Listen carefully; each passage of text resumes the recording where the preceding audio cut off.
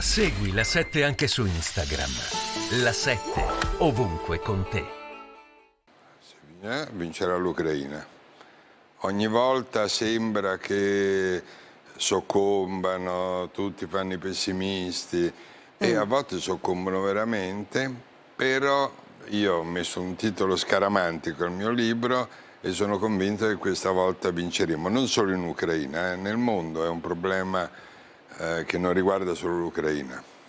A proposito di Ucraina, te lo chiedo perché in realtà è la notizia che in questo le, momento le prime pagine sì. del giornale Beh, certo, online l'ho in questo visto. momento parlano di In Ucraina. pochi minuti è diventata la prima notizia Tiziana. Kiev, abbiamo ucciso il comandante della flotta del Mar Nero, il comandante russo della flotta del Mar Nero, il generale Sokolov, e con lui altri 34 altri ufficiali. In Ucraina sono arrivati, anzi arriveranno anche i primi Abrams, che sono i carri armati mandati dagli Stati Uniti d'America e dall'Alleanza Atlantica, ma la notizia dell'uccisione del generale Sokolov è una notizia che può cambiare alcuni equilibri nella parte Io non, non della so valutare marittima. il reale impatto di quello che sta succedendo, ma ti chiedo che idea ti sei fatto tu Paolo, a che punto siamo?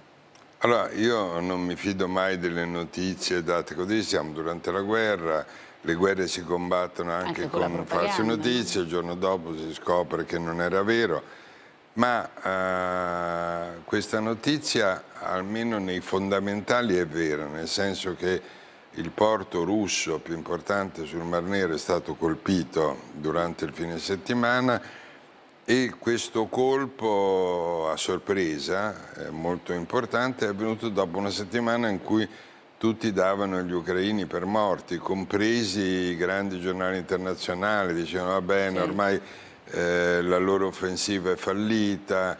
E quindi questo dimostra come A, durante le guerre le cose si alternano, mai darle per concluse. La seconda guerra mondiale nel maggio del 40 e per tutto il 1940 sembrava persa per eh, l'intera Europa, sembrava che i nazisti avessero vinto, resisteva poveretta l'Inghilterra, la Gran Bretagna da sola, ma presto sarebbe, io non conosco il participio passato del verbo soccombere, ma sarebbe soccombuta anche la Gran Bretagna e non lo conosco, è un mio difetto, lo confesso a voi e agli spettatori. Però sembrava che stesse per soccombere, ecco, diciamo così, anche la Gran Bretagna e la guerra sembrava persa. Poi la guerra ebbe delle svolte, nel 41 i russi furono attaccati dai nazisti e poi i giapponesi attaccarono eh, per l'Arbor e poi si rivoltarono i fronti, quindi le guerre si giudicano solo quando si chiudono, per adesso è prematuro. E quel pessimismo della settimana scorsa sull'Ucraina che ha ispirato una celeberrima copertina giovedì scorso dell'Economist, eh, forse va rivisto. Alessio, ancora notizie?